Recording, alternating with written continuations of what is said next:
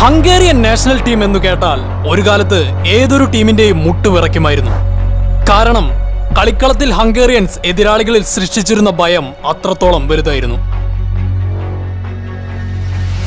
Hungary ഒരു കാലത്ത് ലോക ഫുട്ബോൾ ഭരിച്ചിരുന്നു എന്ന് പറഞ്ഞാൽ പലർക്കും വിശ്വസിക്കാൻ സാധിക്കില്ല. പ്രത്യേകിച്ച് യുവതലമുറയ്ക്ക്. എന്നാൽ വിശ്വസിച്ചേ പറ്റൂ. ആയിരത്തി തൊള്ളായിരത്തി മുപ്പതുകളിലും അമ്പതുകളിലും ഹംഗേറിയൻ നാഷണൽ ടീം ഉണ്ടാക്കിയ ഇമ്പാക്ട് അത്രത്തോളം വലുതായിരുന്നു. നമുക്കറിയാം യോഹാൻ ക്രൈഫും റിനസ് മിഷേൽസും ചേർന്നാണ് ടോട്ടൽ ഫുട്ബോൾ എന്ന ഹൈ പ്രസിംഗ് ഫുട്ബോൾ ശൈലിയെ കൂടുതൽ ഉയരത്തിലെത്തിച്ചതെന്ന്. പക്ഷേ ആ ടോട്ടൽ ഫുട്ബോൾ ശൈലിയെ അന്താരാഷ്ട്ര തലത്തിൽ ആദ്യം പരീക്ഷിച്ചത് ഹംഗേറിയൻ നാഷണൽ ടീമായിരുന്നു. ആയിരത്തി തൊള്ളായിരത്തി അമ്പതുകളിൽ ഹംഗറി സൃഷ്ടിച്ചത് അവരുടെ ചരിത്രത്തിലെ തന്നെ ഏറ്റവും മികച്ച ടീമിനെയായിരുന്നു. The golden team. ഇരുപതാം നൂറ്റാണ്ടിലെ സെക്കൻഡ് ഹയസ്റ്റ് ഗോൾ സ്കോററായ ഫെറൻക് പുസ്കാസ് ആയിരുന്നു അന്ന് ഹംഗറിയുടെ നായകൻ. മികച്ച ഗോളിന് നൽകുന്ന പുരസ്കാരമായ പുസ്കാസ് അവാർഡിലെ അതേ പുസ്കാസ് തന്നെ. നെതർലാൻഡ്സിന് പറ്റിയ പോലെ ഹംഗറി ലോക കിരീടം ചൂടാത്തതിൽ ആളുകൾക്ക് ഇന്നും നിരാശയാണ്. പക്ഷേ അവർ രണ്ട് തവണ വേൾഡ് കപ്പിലെ റണ്ണേഴ്സ് അപ്പ് ആയിരുന്നു. ആയിരത്തി തൊള്ളായിരത്തി മുപ്പത്തി എട്ടിലും അമ്പത്തിനാലിലും. കൂടാതെ മൂന്ന് തവണ ഒളിമ്പിക് ഗോൾഡ് മെഡലും ആയിരത്തി തൊള്ളായിരത്തി നാൽപ്പത്തി എട്ട് മുതൽ അമ്പത്തി മൂന്ന് വരെയുള്ള സെൻട്രൽ യൂറോപ്യൻ ഇന്റർനാഷണൽ കപ്പും ഹംഗറി നേടി. ആയിരത്തി തൊള്ളായിരത്തി പന്ത്രണ്ടിൽ ആദ്യമായി ഒരു ഇന്റർനാഷണൽ സ്റ്റേജിലേക്ക് പ്രവേശിച്ച ഹംഗറിക്ക് ഇംഗ്ലണ്ടിന് മുന്നിൽ മറുപടിയില്ലാത്ത ഏഴ് ഗോളുകൾക്ക് തോൽക്കേണ്ടി വന്നു. എന്നാൽ ഒളിമ്പിക്സിന് ശേഷം പിന്നീട് റഷ്യക്കെതിരെ നടന്ന രണ്ട് മത്സരങ്ങളിൽ അവർ ജയിച്ചത് ഏറെ വ്യത്യസ്തമായ രീതിയിലായിരുന്നു. ആദ്യ മത്സരം മറുപടിയില്ലാത്ത ഒമ്പത് ഗോളുകൾക്കും രണ്ടാം മത്സരം എണ്ണം പറഞ്ഞ പന്ത്രണ്ട് ഗോളുകൾക്കും. ആയിരത്തി തൊള്ളായിരത്തി ഇരുപത്തിയേഴിൽ ഹംഗറി ഫ്രാൻസിനെ തകർത്തത് പതിമൂന്ന് ഒന്നിനായിരുന്നു. ആയിരത്തി തൊള്ളായിരത്തി മുപ്പത്തി എട്ട് വേൾഡ് കപ്പിലേക്ക് ക്വാളിഫൈ ചെയ്ത ഹംഗറി മികച്ച പ്രകടനത്തിലൂടെ ഫൈനലിലേക്ക് പ്രവേശിച്ചു. പക്ഷേ നിർഭാഗ്യവശാൽ അവർ ആ ഫൈനലിൽ ഇറ്റലിയോട് തോറ്റു.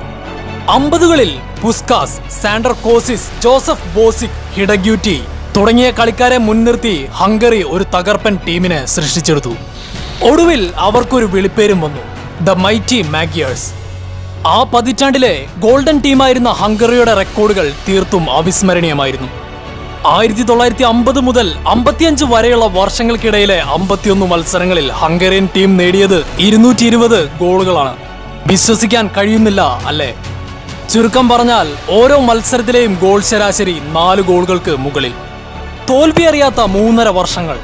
പുസ്കാസും കോസിസും ഗോളുകൾ നേടിക്കൊണ്ടേയിരുന്നു. ആയിരത്തി തൊള്ളായിരത്തി അമ്പത്തി മൂന്നിൽ ഇംഗ്ലണ്ടിനെ അവരുടെ സ്വന്തം തട്ടകമായ വെംബ്ലിയിൽ ആറ് മൂന്നിനാണ് ഹംഗറി തകർത്തത്. ആയിരത്തി തൊള്ളായിരത്തി അമ്പത്തിനാല് വേൾഡ് കപ്പിന്റെ ഫൈനലിലേക്ക് അവർ അനായാസം പ്രവേശിച്ചു. നിർഭാഗ്യവശാൽ രണ്ട് ഗോളുകൾക്ക് മുന്നിട്ട് നിന്ന ശേഷം ജർമ്മനിയോട് മൂന്ന് രണ്ട് എന്ന മാർജിനിൽ അവർ തോറ്റു. ലോക കിരീടം നേടുമെന്നുറപ്പിച്ച ഹംഗറിക്ക് മോശം റഫറിങ്ങിന് മുന്നിൽ തോറ്റുമടങ്ങേണ്ടി വന്നു. ആയിരത്തി തൊള്ളായിരത്തി അറുപതുകളിലും എഴുപതുകളിലും ഹംഗറി മികച്ച കളിക്കാരെ തന്നെ സൃഷ്ടിച്ചിരുന്നുവെങ്കിലും എൺപതുകളുടെ അവസാനത്തിൽ ടീം വൻ തകർച്ചയിലേക്കാണ് പോയത്. കമ്മ്യൂണിസ്റ്റ് ഭരണം അവസാനിച്ചതോടെ വൻ സാമ്പത്തിക പ്രതിസന്ധിയിലേക്ക് പോയ ഹംഗറിയുടെ പ്രശ്നങ്ങൾ ഫുട്ബോളിനെയും ബാധിച്ചു. ആയിരത്തി തൊള്ളായിരത്തി മുപ്പത് നാൽപ്പത് അമ്പത് എന്നീ പതിറ്റാണ്ടുകളിലെ ഫുട്ബോൾ വസന്തം പിന്നീട് ഒരിക്കലും ഹംഗറി ആവർത്തിച്ചില്ല. ആയിരത്തി തൊള്ളായിരത്തി തൊണ്ണൂറ്റിയാറിൽ ഹംഗറി ലോക റാങ്കിങ്ങിൽ എൺപത്തിയേഴാം സ്ഥാനത്തേക്ക് കുത്തനെ താഴ്ന്നു. വർഷങ്ങൾ കടന്നുപോകും തോറും ഹംഗറി അവരുടെ അമ്പതുകളിലെ പ്രൗഢി തിരിച്ചു കൊണ്ടുവരാനുള്ള ശ്രമങ്ങൾ തുടർന്നുകൊണ്ടേയിരുന്നു. അതിന്റെ ഫലമായി തന്നെ വർഷങ്ങൾക്ക് ശേഷം രണ്ടായിരത്തി പതിനാറ് യൂറോ കപ്പിലേക്ക് അവർ പ്രവേശിച്ചു. നിലവിൽ ഹംഗേറിയൻ നാഷണൽ ടീം ലോക റാങ്കിങ്ങിൽ അമ്പത്തിരണ്ടാം സ്ഥാനത്താണുള്ളത്. ആ പഴയ ഫുട്ബോൾ വസന്തം ഹംഗറി ഒരിക്കൽ കൂടി ആവർത്തിക്കുമോ? എന്താണ് നിങ്ങൾക്ക് തോന്നുന്നത്? അഭിപ്രായങ്ങൾ തീർച്ചയായും കമന്റ് ചെയ്യുക. ഇതുപോലുള്ള കൂടുതൽ വീഡിയോസിനായി ചാനൽ തീർച്ചയായും സബ്സ്ക്രൈബ് ചെയ്യുക. And thanks for watching this video